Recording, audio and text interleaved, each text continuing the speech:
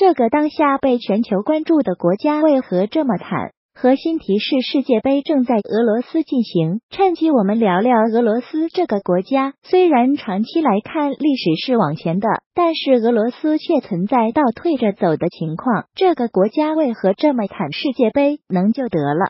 他骂我是一个忧患意识很强的人，喜欢根据历史和当下发生的事情去推测未来发生的事情。很不幸，我在几年前讲的很多事情开始逐步发生。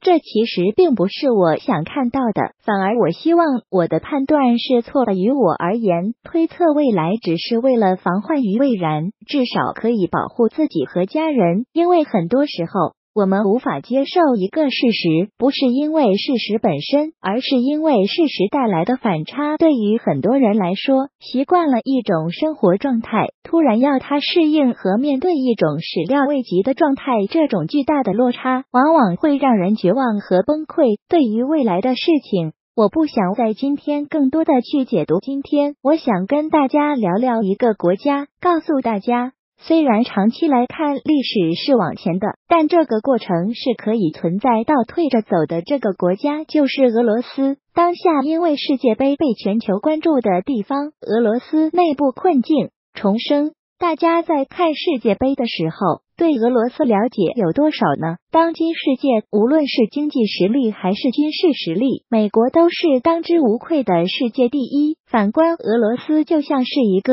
严重偏科的学生，军事实。力尚可，但经济却是严重不及格。那我们先来看一下俄罗斯的 GDP。俄罗斯在二零一四年遭遇西方制裁后，俄罗斯的 GDP 从二零一三年二点零八万亿美元的巅峰状态缩水至一万亿美元。据统计，俄罗斯近年来的平均年 GDP 为一点三万亿美元。二零一六年俄罗斯 GDP 增长率。为负百分之零点二，二零一七年俄罗斯 GDP 增长率为百分之一点四，没有对比就没有伤害。二零一七年美国 GDP 达到了十九点三六万亿美元，是俄罗斯的十五倍，可以说昔日的超级大国已沦为最穷的现代大国。而更让人触目惊心的是，老百姓贫富差异极严重。赞助商链接，赞助商链接。二零一六年全球财富报告显示，俄罗斯顶尖百分之一的富人掌控了百分之七十四点五的国家财富，百分之二十最贫困的人口仅掌控了少于百分之一的财富。一边是五彩缤纷欢乐世界，另一边却是黑白萧条场景，穷人靠乞讨为生。而富人开着豪车到处炫耀，一个很明显的现象就是不少俄罗斯女性畸形的三观，他们的梦想就是嫁个富豪老公。因此，当地有各种如何嫁给百万富翁的培训班。更可怕的是，在俄罗斯东部的布里亚特共和国，女性甚至用身体支付各种费用。可能给大家更为直观的现象是，东北不少人娶到了俄国漂亮的白人姑娘。雪上加霜的是，近年来俄罗斯卢布不断上演暴跌行情。从二零一四年以来，卢布对美金汇率贬值一倍，也就说，原来一千卢布只能买到五百卢布的物品。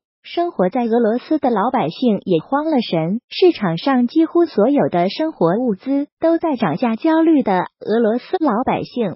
甚至从自动取款机中取空卢布兑换为美元，或是大规模的疯狂扫货。最近有个去俄罗斯看世界杯的朋友告诉我说，俄罗斯的一切都是那么便宜，感觉就像自己是个富豪一样。其实俄罗斯的物价不低的，只是因为卢布汇率实在太糟糕了，国内民生长期得不到改善，在近两年来也是连连爆发示威游行。就在世界杯开幕当日，俄罗斯公布将男性和女性的退休年龄分别延迟至六十五岁和六十三岁，和将增值税从百分之十八提高到百分之二十，主要是弥补退休金不足的金额，相当于 GDP 的百分之二。这个数值可比俄罗斯每年 GDP 增长率还高。普京也是够狠，当然，俄罗斯老百姓对这项政策非常不满。他们在四十五个城镇集会，严重抗议这项政策。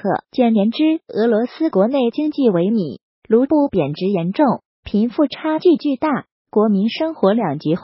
社会动荡不安，世界杯无法掩盖俄罗斯那萧条的经济和分裂的社会现状。俄罗斯为何如此凄惨？昔日世界强国，它的经济怎么会沦落到如此地步？大家要先知道一点：俄罗斯拥有世界上最大储量的矿产和能源资源。是世界上最大的石油和天然气输出国。俄罗斯 GDP 增长的关键驱动力就是自然资源。故事还是要从苏联解体之后说起。自从苏联解体后，这个国家留下了各种前苏联旧体制的后遗症，例如经济结构扭曲。市场体制缺乏以及居高不下的债务赞助商链接，赞助商链接，所以俄罗斯在上世纪九十年代的经济转型既漫长又痛苦。在一九九九年，由于石油价格激升，在外汇储备充裕和进口增加的刺激下，俄罗斯经济增长的还不错。不然，恐怕世上已无俄罗斯。在俄罗斯经济似乎开始要往正路跑的时候，这个时候，普京又开始搞事情了了。转折点在二零零三年，俄罗斯重新回到国有化的老路，将能源领域企业重新国有化，给私有企业加重税。俄罗斯的经济体制完全由官僚机构以及领导阶层把控，这也是形成贫富差异极端化的主要原因。在这个时候，政商勾结、腐败在慢慢发酵，金融诈骗、偷逃国税、侵吞巨额资产等各种乱象。也频频出现在俄罗斯，几乎什么都可以拿来买卖，比如上大学、逃兵役、找工作。在二零零八年全球金融危机爆发之后，俄罗斯经济高度集权带来的负面影响更明显。二零零九年，俄罗斯经济缩水了百分之七点八，在二零幺零二零幺二年期间，俄罗斯的 GDP 增长率基本没有太大起色。俄罗斯政府信用一直极差，商业环境也极差，资本外逃严重，俄罗斯沦为一个净资本出口国。在二零一四年，俄罗斯经济更是遭遇两次重创，首先就是针对乌克兰冲突的国际仲裁以及反制裁。其次就是国际油价以及其他大宗商品价格下跌，这两起事件都导致大笔资本外流，俄罗斯卢布快速贬值，以及国内需求急速缩水，俄罗斯老百姓越来越苦。二零一四年，俄罗斯的资本外流创历史新高，而资本外流又让政府对媒体、司法体系。以及商业活动加强管制，甚至还对外国投资人增加了新的限定条款，商业环境变得更差了。美国和欧盟的制裁切断了俄罗斯一些大公司和银行的外部资金来源，而俄罗斯反制裁则针对来自欧盟。以及其他西方国家的食品，这又影响了消费市场以及一些依赖进口的俄罗斯企业。至此，俄罗斯天然气和石油收入骤减，经济衰退，老百姓收入减少，物价却在飞涨，卢布在狂贬值，富人们忙着把资产转移到国外，老百姓过得越来越差。俄罗斯面临陷入经济混乱的威胁。世界杯拯救得了俄罗斯那在这种情况下，俄罗斯？为何还要？下血本搞世界杯，为了举办这一足坛盛事，截至二零一七年底，俄罗斯？已经烧了一百四十亿美元，超过了二零一零年南非世界杯六十亿美元，二零一四年巴西世界杯一百一十亿美元的投入，成为史上最烧钱的世界杯。俄罗斯自然希望用这届世界杯来撬动经济杠杆，给经济打一剂强心针。回顾历届世界杯的主办国，一九九四年美国经济增长百分之一点四，一九九八年法国经济增长百分之一点三二，零零二年韩国和日本经济增长分别为百分之三点一和百分之零点。三二零零六年，德国经济增长百分之一点七；二零一零年，南非经济同比实际增长百分之二点八。巴西二零一四年经济增长率为百分之零点一。赞助商链接，赞助商链接。根据以往的数据，世界杯确实能够在一定程度上提振经济。为筹办世界杯，俄罗斯进行了大规模的基础设施建设改建或兴建了机场、车站、酒店。电视转播中心在内的二百一十八个项目，在世界杯赛事举行的一个多月时间内，俄罗斯将迎来超过一百五十万外国游客。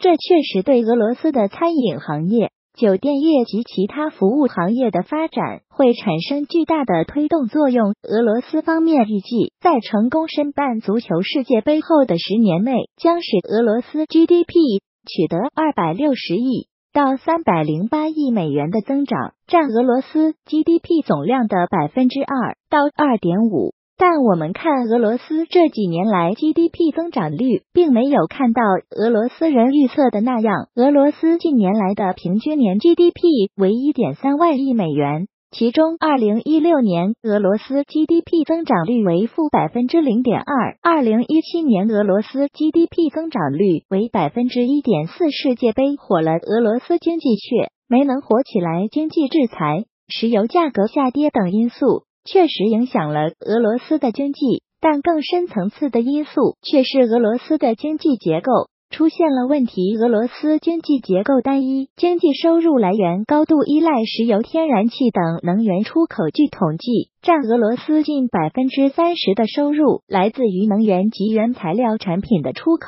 与此同时，俄罗斯国内所需的轻工业产品。高技术及高附加值含量的产品严重依赖进口，而俄罗斯的反制裁措施却同时影响了自己的经济结构。杀敌八百，自损一千。单一的能源依赖性经济结构，国际能源价格的高低，直接决定了俄罗斯经济的走向。近几年来，国际能源价格持续走低，西方。对俄罗斯实施多轮经济制裁，俄罗斯经济遭遇严峻挑战，甚至有可能爆发经济危机。虽然俄罗斯一直反复强调要改变经济发展主要依赖能源的局面，但从经济转轨二十多年的情况看，这种局面还是没有改变俄罗斯经济的核来病。现象越来越明显，很难应对国际能源市场的变化。目前来看，俄罗斯政府治理经济的方式却让俄罗斯一步步走向闭关锁国的地步。面对油价持续下跌及西方的经济制裁，二零一五年俄罗斯政府推出一系列进口替代政策，五年内减少二十个关键领域的进口，涉及重型机械、电子工程。化工、制药等领域，目标要将对外国农林业机械的依赖降低百分之五十六，食品加工降低百分之五十三，工程机械降低百分之三十四。政府采购也优先考虑国内企业。至于质量，并不是首要标准。从自由化经济到重走国有化老路，到如今有以闭关锁国的方式来重振经济，俄罗斯。似乎在重返苏联的老路，历史何其相似。美国制裁俄罗斯，俄罗斯已面临如此局面，对于那个很厉害的国家，不知作何感想。